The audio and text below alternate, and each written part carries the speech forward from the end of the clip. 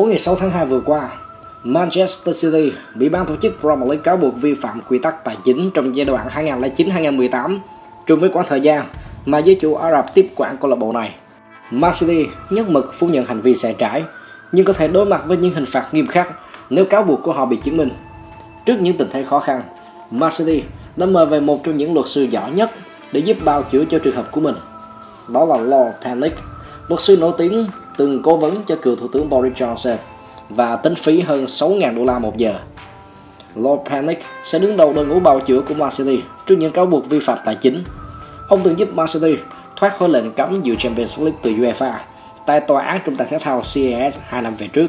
Nhưng chẳng riêng với lãnh đạo Man City, rất nhiều thành viên của đội bóng cũng đã có bước đi đầu tiên về vấn đề này. Một cuộc tháo chạy quy mô lớn đang đứng trước nguy cơ diễn ra. Pep Guardiola đã từng tuyên bố vào năm ngoái rất giống dàng. Nếu câu lạc bộ này lừa dối tôi, tôi sẽ ra đi ngay lập tức.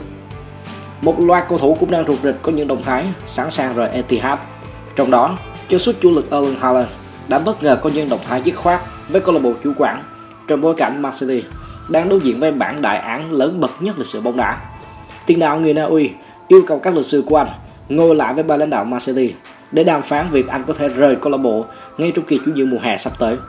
Ấn phẩm Defensa Central của Tây Ban Nha cũng đã tiết lộ một tình tiết rất mới trong vụ này. Theo đó, Real Madrid và Barcelona đang lên kế hoạch cũng như sẵn sàng cạnh tranh khốc liệt để chiêu mộ Erling Haaland. Real Madrid cần Haaland như một phương án hoàn hảo để thế chỗ Karim Benzema.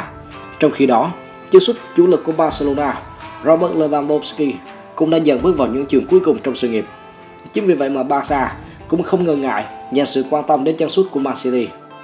Về phần Haaland, dù tỏa sáng xuất sắc từ đầu mùa cho đến thời điểm này, trung phong người Na Uy đã đang cho thấy một sự tuột giảm phong độ báo đầu. Cũng theo nguồn tin trên, lý do khiến tiền đạo 22 tuổi sa sút là bởi những mâu thuẫn ngoài sân cỏ giữa anh và ban lãnh đạo Man City. Song song với đó, như đã nói ở phần đầu, Man City hiện đang chính vào những bê bối lùm xùm liên quan đến sai phạm tài chính và phải đối diện với những án phạt cực nặng, trong đó nặng nhất là bị trục xuất khỏi Premier League. Chính điều đó cũng đang khiến Haaland cảm thấy Man City không còn là một chỗ dựa an toàn. Haaland còn hợp đồng đến tận mùa hè 2017 với mức phí phá vỡ rơi vào khoảng 175 triệu bảng. Tuy nhiên, với một số điều khoản hợp đồng đặc biệt giữa Haaland và Man City, thì tiền đạo người Na Uy có thể được phép ra đi vào mùa hè 2024, dù cho các đội bóng lớn khác có thể chồng đủ 175 triệu bảng lên bàn đàm phán ngay mùa hè này. Điều khoản hai bên ký kết quy định, Haaland đồng ý cam kết toàn tâm gắn bó với Man City trong 2 năm đầu. Đây chính là điểm khúc mắc mà chân sút người Na Uy muốn đội ngũ luật sư của mình tháo gỡ trong quá trình đàm phán sắp tới với ban lãnh đạo. Nếu điều khoản cam kết bị phá bỏ, bất kỳ đội bóng nào gom đủ 175 triệu bảng đều có thể hỏi mùa hầu. Dù vậy, ngay cả khi không còn điều khoản cam kết, 175 triệu bảng vẫn sẽ là con số rất lớn, gây trở ngại cho những đội bóng có tham vọng sở hữu Haaland mùa hè tới. Cũng theo tờ Defensa Central của Tây Ban Nha, mối tình ngỡ là chân ái giữa Man City và Haaland bắt đầu có dấu hiệu rạn nứt. Tờ báo này cho rằng Haaland đã không bắt kịp những phương pháp của Pep Guardiola. Ngay cả khi tiền đạo này đã ghi 31 bàn chỉ sau 28 trận kể từ khi chuyển đến vào mùa hè năm ngoái. Bởi lẽ một nghịch lý đã xảy ra tại Etihad trong thời gian gần đây. Trong khi Haaland duy trì phong độ thi đấu sung mãn, thì Man City lại có vẻ không có được phong độ tốt nhất của mình. Nhiều người hâm mộ và chuyên gia đã chỉ ra rằng đội bóng của Pep đang có phần rơi rạc trong những bài đánh triển khai tấn công. Mới đây nhất là thất bại trước Tottenham Hotspur. Đáng chú ý, Haaland đã không tung ra bất kỳ cú sút nào, cũng như không có nổi một pha chạm bóng trong vòng cấm, mặc dù anh chơi suốt cả trận. Đây là lần thứ hai trong mùa giải Premier League năm nay, người ta ghi nhận những thông số đáng quên của Haaland. Lúc này, tại Etihad, sự phụ thuộc vào Haaland biểu hiện rất rõ. Mỗi khi Haaland tịch ngòi trong những trận cầu quan trọng như trước Man United hồi tháng trước hay Tottenham Hotspur vào tháng này, Man City sẽ thất bại.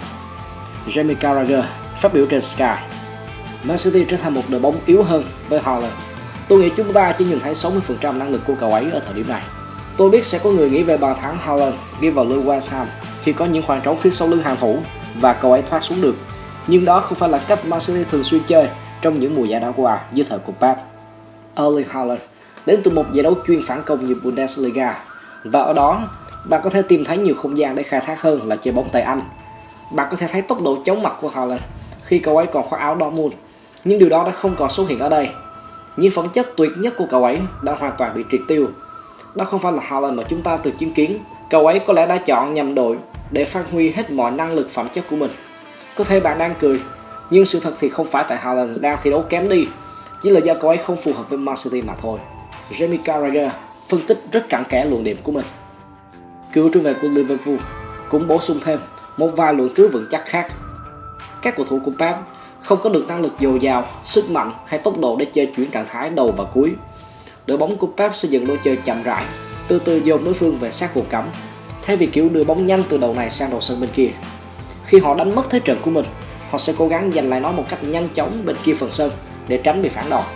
Họ giữ cho đối thủ của mình bị mắc kẹt rồi phạm sai lầm hơn là tự tạo ra những thời cơ kết liễu đối phương bằng lối đá phản công. Kết luận, Jamie Carragher cho rằng vấn đề không nằm ở Rick Haaland. Chúng ta chưa nhìn thấy hết những khả năng của Haaland trong mùa áo này. Hãy nhìn kỹ đi, Man City chỉ ghi được số bàn thắng bằng đúng thời điểm này mùa trước. Haaland có đến 25 bàn, vậy mà tổng số bàn thắng của Man City lại không tăng chút nào. Trong khi đó, City lại để bị thủng lưới nhiều hơn và dễ bị phản công. Họ thực sự là một đội bóng khác so với chính mình khi có Haaland. Đó không phải là lỗi của cậu ấy, đó là lỗi đến từ hệ thống. Mối quan hệ giữa Man City và Haaland tưởng chừng hợp không tưởng, hóa ra lại không hợp như tưởng tượng. Chân suốt người Na Uy giờ đây tin rằng những phẩm chất tốt nhất của anh không được khai thác một cách tối đa. Real Madrid và Barcelona đều đã đánh tiếng, nhưng dường như trái tim Haaland dành phần ưu ái hơn cho Real Madrid.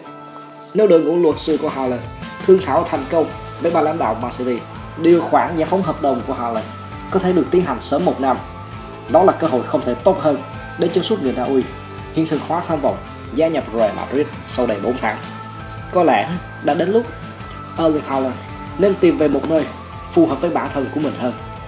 Vì suy cho cùng, đâu ai chung tình được mãi.